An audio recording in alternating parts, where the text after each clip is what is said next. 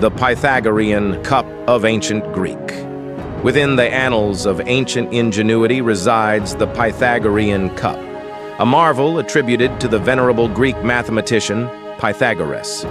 Crafted with cunning craftsmanship, this enigmatic drinking vessel harbors a concealed mechanism, an elegant testament to the wisdom of moderation. Ingeniously designed, the cup bestows upon its imbibers a lesson steeped in restraint. Should one dare to indulge excessively, the cup, in its unforgiving mastery, unleashes its hidden mechanism, spilling its precious contents in a humbling display.